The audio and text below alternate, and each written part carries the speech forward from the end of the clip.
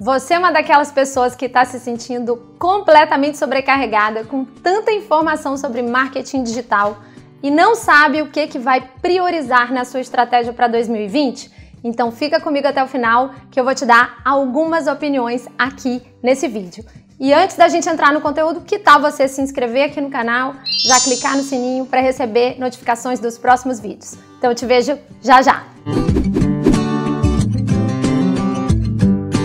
Olá, gente linda aqui desse canal. Eu sou Carol Caracas, consultora de marketing digital, e eu tô aqui para compartilhar algumas ideias com você sobre o que, que a gente pode fazer para melhorar os nossos negócios e diante de tanta novidade que está surgindo no ano de 2020. Sim, porque a gente já está praticamente em novembro e já é hora da gente estar tá fazendo o nosso planejamento, vendo aonde que a gente vai colocar dinheiro, que pessoas a gente vai recrutar, contratar para ajudar a gente. Então é importante a gente ter foco e estratégia. Então vamos lá. Eu pessoalmente, até hoje, tenho feito a minha estratégia muito focada no Instagram e não é à toa, porque foi nessa rede que eu sempre tive mais resultados concretos em termos de visibilidade, autoridade, de conquista de clientes. E não foi à toa que eu criei o curso Arrase no Insta, que foi um, uma resposta a um pedido da própria audiência que gostava do trabalho que eu fazia no Instagram e vinha me pedindo para compartilhar técnicas, estratégias e coisas dos meus bastidores. Mas o que eu sempre falo para os meus clientes é que o Instagram é uma mídia social, assim como todas as outras, e a gente precisa sempre lembrar a vocês que seguem a gente, né, que somos aqui da, da área de marketing digital, que mídias sociais são um terreno alugado e que as regras mudam, os aplicativos mudam, as funcionalidades. Agora mesmo a gente sabe que o Instagram passou por uma mudança bem radical que foi a questão de ocultar a visualização dos likes, que ainda não está em todos os países, mas é um caminho sem volta. E isso provoca sim mudanças no comportamento do usuário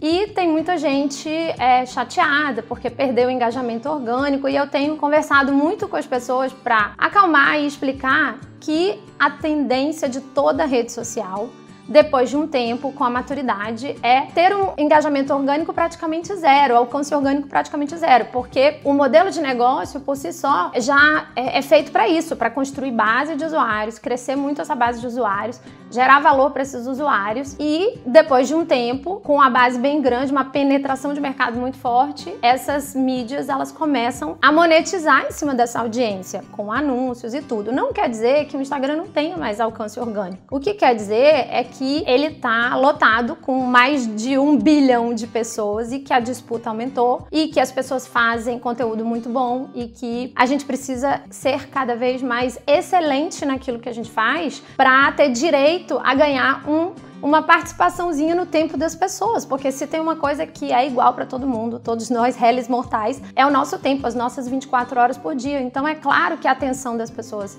vai se dividindo e o Instagram já justificou várias vezes que a criação do algoritmo foi para que as pessoas cada vez mais conseguissem ver aquilo que elas gostam, que é do interesse delas, porque antes, na, na, na forma de feed cronológico, as pessoas não conseguiam ver aquilo que realmente era do interesse delas. Foram feitas pesquisas, levantados números e tal, e o algoritmo existe para isso, para que a gente consiga ter uma experiência individualizada com o aplicativo e que ele mostre para a gente de acordo com o nosso comportamento comportamento de usuário na rede. Então isso aí, de certa forma, foi uma chiadeira, mas a gente tem que se conformar com isso, que a tendência é reduzir mesmo. E aí o que, que a gente faz? A gente tem tanto que se preparar mais tecnicamente com conhecimento para aproveitar a, a, a, ferramenta de anúncios dessa mídia, que ainda é uma coisa muito barata perto de todas as outras opções de mídias que você vai ter. Ainda é muito pouco dinheiro que a gente pode investir para multiplicar por 10, por 20, por 100, um alcance de um post, de um conteúdo que é muito importante para gente e com isso crescer o engajamento do nosso perfil e as nossas vendas. Mas tudo isso precisa de estratégia, a gente precisa começar a usar mais a ferramenta de anúncio e aprender com ela. Não só estudar, como praticar. Porque, vamos supor, se vocês compram um curso sobre fazer anúncios no Facebook e no Instagram, com o gerenciador de anúncios do Facebook, por exemplo, que é a ferramenta onde a gente tem recursos mais sofisticados para alcançar públicos mais segmentados e tudo isso, não só no Facebook, como no Instagram também, gente. Eu preciso sempre lembrar que quando eu falo de Facebook, eu estou falando de Instagram também, porque a gente está falando da mesma ferramenta de anúncios, a gente está falando da mesma empresa que está por trás. Então, quando a gente começa a usar, nem tudo que a gente aprendeu sobre como mexer no gerenciador de anúncios no Facebook vai, na prática, se comportar igual para todo mundo, porque tudo em se tratando de marketing digital é uma questão de testar. A gente vai para o campo de batalha, fazer os nossos testes com sabendo com um pouco de estudo, com um pouco de teoria, mas a gente aprende mesmo é quando a gente testa várias campanhas, vários públicos, vários textos e a gente vê o que efetivamente está funcionando de acordo com o nosso objetivo. Se o objetivo é crescer, perfil é uma coisa. Se você tá, já está naquele momento em que você tem várias ofertas, várias coisas para vender, então o seu objetivo provavelmente e as suas métricas estão muito em cima de vendas, ou seja, se aqueles anúncios, aquele dinheiro que você está investindo, quanto ele está retornando de venda por cada real que você investe se você está no momento ainda de ficar conhecida. Então você tem conteúdos muito bons, você vai impulsionar esses conteúdos para que mais pessoas cheguem e conheçam o perfil de vocês. Ou se você está querendo levantar o engajamento, você pode também usar conteúdos e gerar envolvimento com as publicações. E aí você constrói um público mais engajado e começa depois, num outro estágio, a mostrar anúncios mais diretos de venda, de oferta, de promoção para esse público que já é um público que te acompanha, né? Que deixou de ser frio, porque primeiro você engajou essas pessoas com o seu conteúdo, com as suas publicações, fez com que essas pessoas chegassem para te conhecer. Então, assim, uma das dicas que eu dou é que a gente realmente perca o medo e pare de resistir contra essa realidade de que o, alcance orgânico tende a zero e que a gente comece a experimentar as ferramentas de anúncio. Seja lá por dentro do próprio Instagram, apertando o botão promover, que em alguns casos vai funcionar, mas é mais limitado, seja através mesmo da ferramenta que é um pouco mais difícil, mais avançada, que é o, é gerenciador de anúncios. Mas se a gente não colocar a mão na massa ou contratar uma pessoa para ajudar a gente com isso e a gente não conseguir estabelecer objetivo, campanha para esse objetivo, muitas variantes antes para esse objetivo, em termos de imagem, vídeo, textos, públicos diferenciados. E se a gente não fizer esses testes e não começar a sentir na prática quais são as campanhas que estão funcionando pra gente, não adianta porque a gente não vai ter resultado e a gente vai continuar reclamando muito, né? Que é isso que eu vejo as pessoas me falando. Eu invisto e não funciona.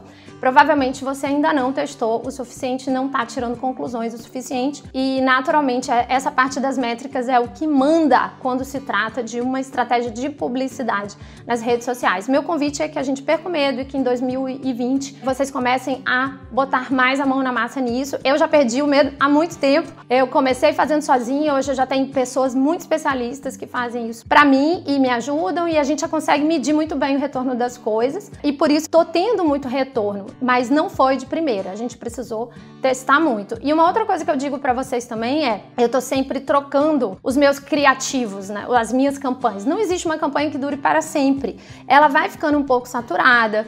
É, a gente não tem controle sobre ah, para que audiência o Facebook está entregando. Às vezes uma campanha que a gente apostava muito porque a gente gostava daquele vídeo que a gente fez ou daquela arte ou daquela, daquele texto. E a gente fala, poxa, mas eu achava que isso aqui ia ser aqui, ia dar mais certo. Quando a gente vê a outra que dá super certo. O que vale realmente é o teste. Essa é uma das coisas que eu recomendo. A outra coisa é não depender só de mídias sociais, ainda que elas sejam muito, muito, muito, muito importantes em qualquer estratégia de marketing digital, porque elas são a primeira vitrine, assim, né? A boca de funil, através da qual a gente traz os clientes para um relacionamento com a gente. Mas a gente não pode ficar só com elas. E isso eu já venho dizendo há anos. É muito importante a gente ter o contato dos clientes, o cadastro dos clientes. E para isso, a gente precisa construir lista de e-mail, tem gente aí construindo grupo de WhatsApp, grupo de Telegram, mas também, de novo, lembrando, são aplicativos externos. Se acontecer alguma coisa e você for bloqueado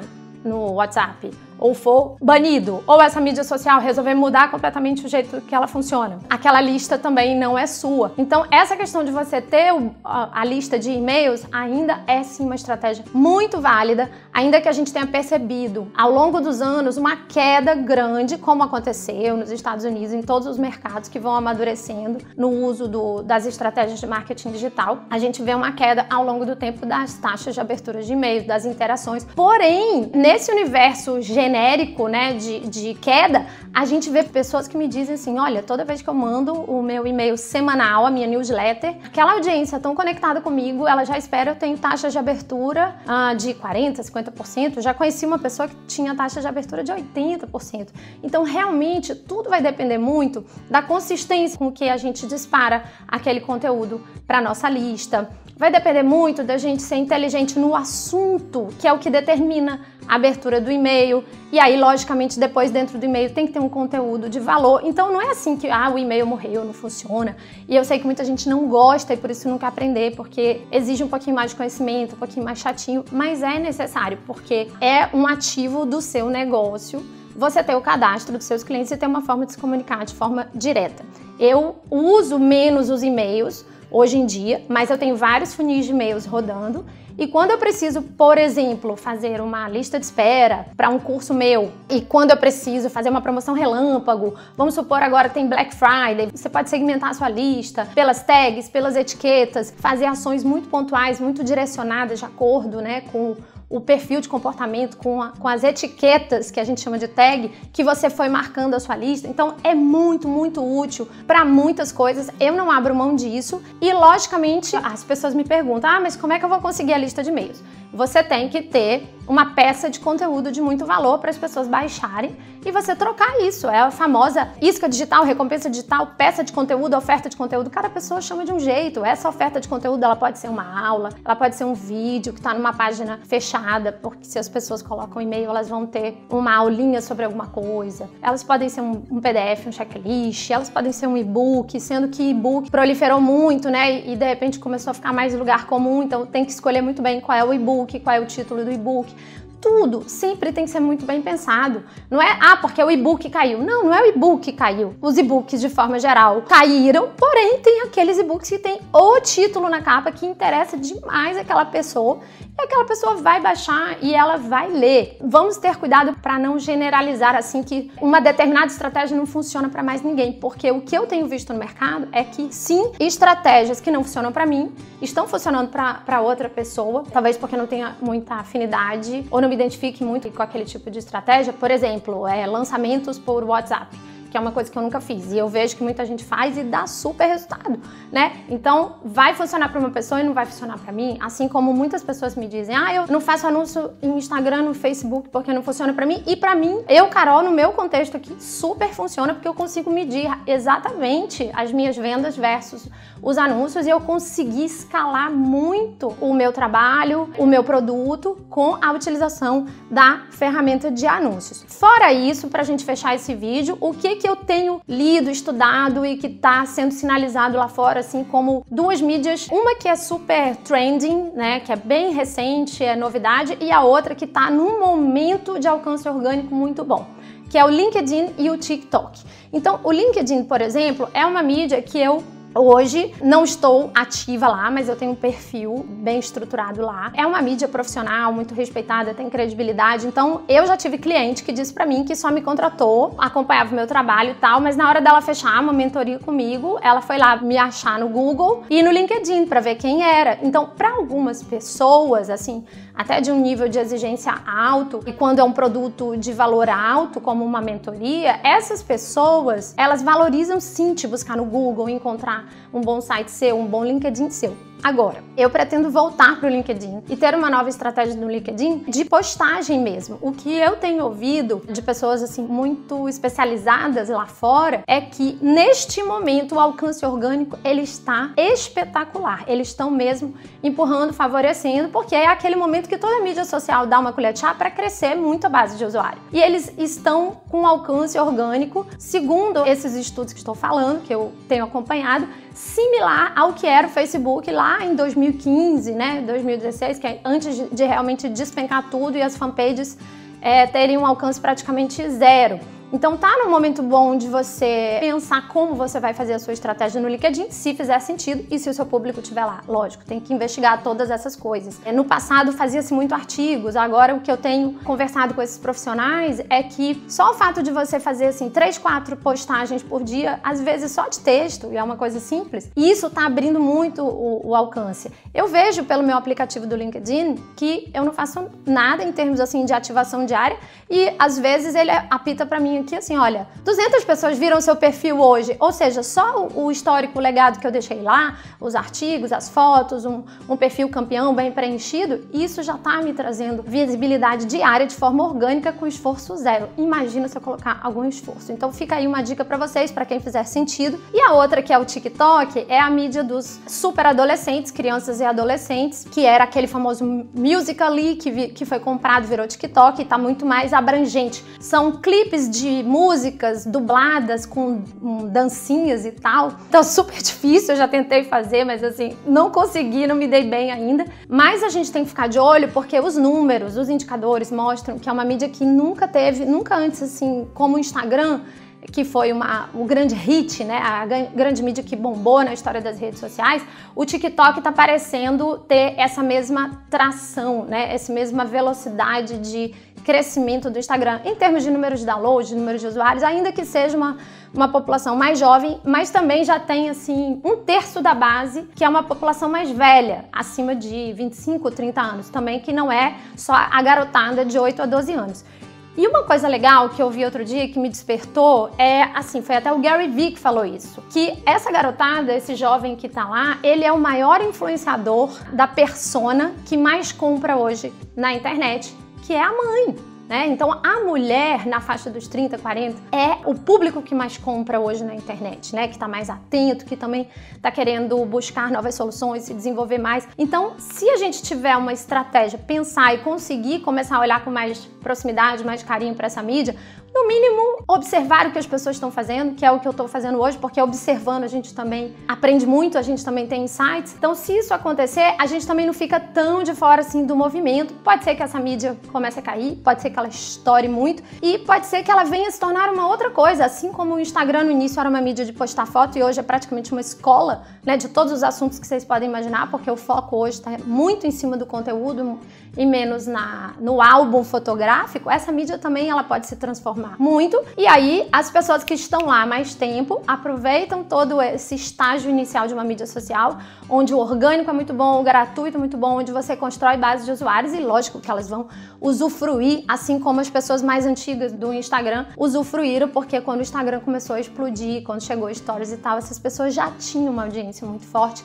e muita gente chegou depois. É aquela velha história, né? Quem chega primeiro bebe água limpa. Então são quatro pontos aí para vocês estarem atentos. Vou recomendar que invistam mais em compreender e testar e tentar ter resultados mesmo usando a ferramenta de anúncios, que isso alavanca muito e não ficar preso só no orgânico que é muito lento. A questão do LinkedIn que eu falei para observar se faz sentido para sua estratégia, o TikTok, que é uma novidade que ainda é difícil da gente saber o que que é e ter lá a, a sua lista de e-mails, a forma de construir a sua lista de e-mails e não perder o contato com seus clientes. A gente poderia falar de outras coisas, mas nosso vídeo já tá bem longo. Foi um papo para quem tá meio perdido e precisa de repente ter um foco. Eu falei de quatro coisas. Quem sabe daí você tira duas ou foca em uma só e começa a se organizar desde agora para começar o seu 2020 com uma estratégia de marketing digital bem pensada aí, pisando fundo aí no acelerador, porque vale muito a pena. Todos os consumidores de todas as áreas estão no digital e a gente tem que manter pontos de contatos